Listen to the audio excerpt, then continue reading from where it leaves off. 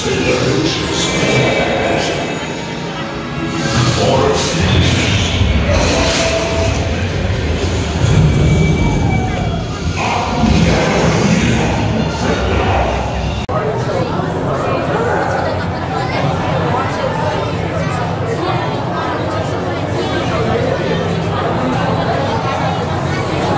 তারা ডিজাইন করছে যে মিশরের যে পিরামিড এবং উপরে যে- প্রাগ ঐতিহাসিক যুগের যে সিনারি অনেকটা চেষ্টা করছে তারা। আমার মনে হয়েছে মানুষ ওই যে দেখেন পিছনে কি করতেছে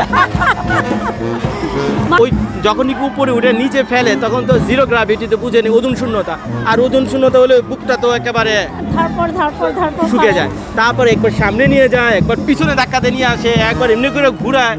তো এই হলো অবস্থা। যে কোস্টার রাইটার রয়েছে এটা কিন্তু মোটামুটি খুবই স্কেরি এবং বুঝতে তো পারছেন, জানে পানি থাকবে না এই আর কি অবস্থা। তো এটা তিন চার মিটার একটা রাইড কিছুক্ষণ পর আমি এখানে উঠবো।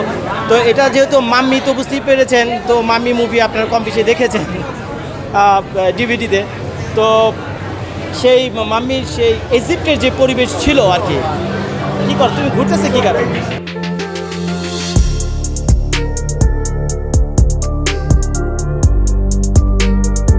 গুড ইভিনিং সবাইকে, কেমন আছেন আপনারা? নিশ্চয়ই ভালো।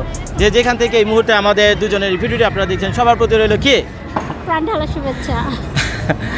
অনুমান করতে পারছেন নিশ্চয়ই যে কোথায় দাঁড়িয়ে আপনাদের জন্য এই ব্লগিংটা করছি। আমরা এখন রয়েছে আমেরিকার ফ্লোরিডা স্টেটসের অরল্যান্ডো সিটির ইউনিভার্সাল স্টুডিওতে এটি আমেরিকা দ্বিতীয় বৃহত্তম এটি ট্যুরিস্ট অ্যাট্রাকশন ওয়ার্ল্ড ডিজনি ওয়ার্ল্ডের পরে এর স্থান।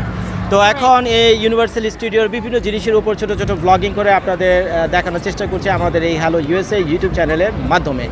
আর আমরা হলাম সম্ভবত প্রথম বাংলা ভাষাভাষী বাংলাদেশি যারা এইভাবে এরকম একটি টুরিস্ট অ্যাট্রাকশনের উপর, ইউনিভার্সাল স্টুডিওর মতো এরকম একটি থিম পার্কের উপর ভিডিও করে ইউটিউবে এভাবে দেখাচ্ছে। তো কাজে আপনাদের উচিত আমাকে অন্তত ছোটোখাটো একটা থ্যাংক ইউ জানানো। এবং সেটা কীভাবে জানাবেন? কমেন্ট করে কমেন্ট বক্সে গিয়ে, তাই না?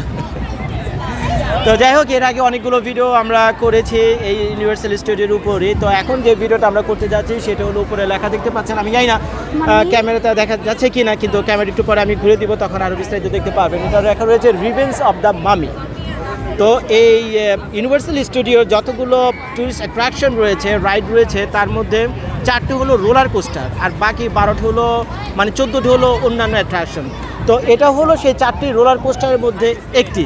তবে এটা অতটা ডেঞ্জারাস না এটা যে স্পিড এটা ততটা না। সম্ভবত বিশ ত্রিশ মাইল হলেও হতে পারে। কিন্তু এর আগে যে ব্লগিংটা আমি করেছিলাম, ওই হলিউড রকেটের উপর, ওইটার স্পিড ছিল অনেক, প্রায় ষাট থেকে সত্তর মাইলের মতো। তো এখন আমরা এক কাজ করি এখনও তো আসলে ভিতরে ঢুকিনি, আমি জানি না কি ঘটনা সেখানে ঘটতে যাচ্ছে। তো আমাদের যে কিছু ব্যাগ ট্যাগ বা পুচকা পাচকে আছে, এগুলো এখানে একটা সেফ লকার রয়েছে। সেই লকারে দিয়ে তারপরে আমরা লাইনে গিয়ে দাঁড়াবো, লাইনে দাঁড়ানোর পর ভিতরে ঢুকি, তারপরে এটাকে এনজয় করি, তারপরে দেখি কি খাতারনাক রাইড এটা, সেটা তখনই বলতে পারব যখন এটা আমরা মানে ব্যবহার করে আসব মানে এটা এনজয় করব। এটা কাজ করে, আমি এখন সাইন আপ করে দিই নেক্সট সাইন অন যখন করব, তখন এটার ভেতরে যখন আমরা যাব, এটা রাইডটা এনজয় করি এটার এক্সপিরিয়েন্সটা আপনাদের সাথে তখন শেয়ার করব। এখন কপিরাইট টপিরাইট ইস্যু আছে কিনা জানি না, তো থাকলে তো আবার আরেক জাল তো যাই হোক লুকে টুকে কিছু ভিডিও করে আপনাদেরকে আমি দেখাবো। সো গাইস সাইন অফ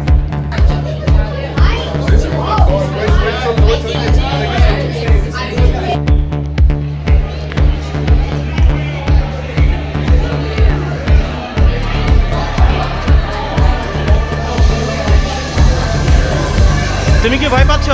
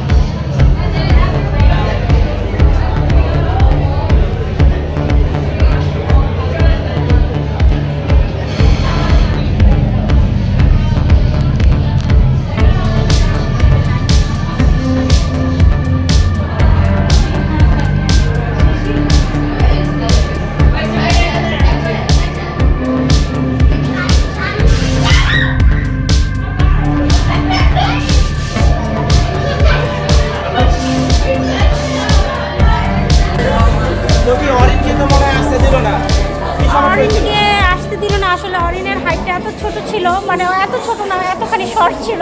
ওরা কত ইঞ্চি বলছিল? 48 ইঞ্চিস মনে হয় এরকমই ওদের ছিল 46 inch forty six inch two inch শর্টের কারণে কোনোভাবে ওদেরকে আহ, কোনোভাবে কনভিন্স করতে পারলাম না।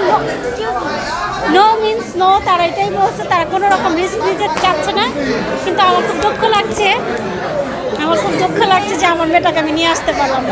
তোমার দুঃখ যে তোমার মেয়ে যেতে পারল না তোমার সাথে? এটাই তো। কিন্তু আমি তো আমার বিনোদনের জন্য এখানে আসি নাই। ভয় পাচ্ছো? তোমার অনুভূতি কি? তুমি তো বাচ্চা রেখে আসছো তোমার হাজবেন্ড রেখে আসছো কি অবস্থা? আমার খুবই ভয় লাগছে। আমি জানি না কতটা ভয়ঙ্কর হবে এটা। অত বেশি ভয় ভয়ঙ্কর না। আর তো কোনো সমস্যা নেই।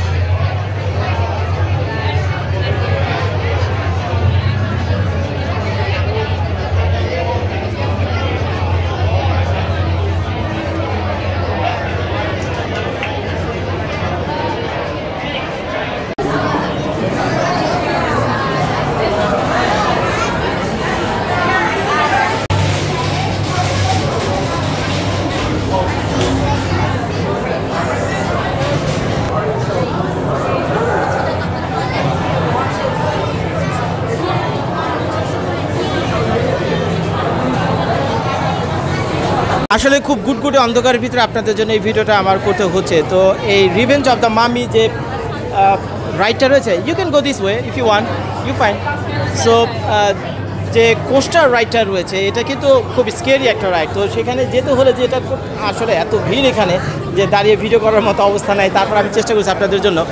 তো এই হলো অবস্থা। যে কোস্টার রাইডটা রয়েছে, এটা কিন্তু মোটামুটি খুব স্কেরি এবং বুঝতে তো পারছেন, জানে পানি থাকবে না এই আর কি অবস্থা। তো এটা তিন চার মিটার একটা রাইড কিছুক্ষণ পর আমি এখানে উঠবো। তো এটা যেহেতু মাম্মি তো বুঝতেই পেরেছেন, তো মাম্মি মুভি আপনারা কম বেশি দেখেছেন ডিভিডিতে তো। সেই মাম্মির সেই ইজিপ্টের যে পরিবেশ ছিল আর কি, কী কর, তুমি ঘুরতেছে কী কারণ?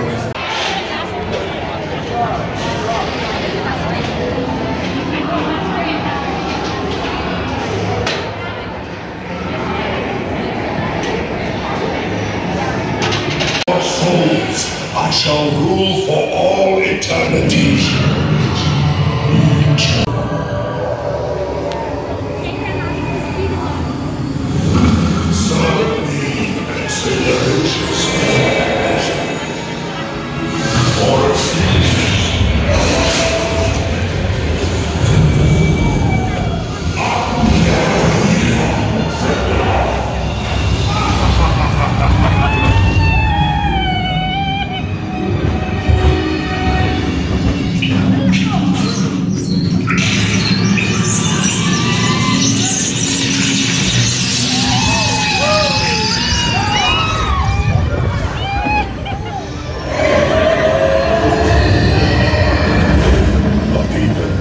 Magi can save you now. There is no escape. Your end shall be my beginning.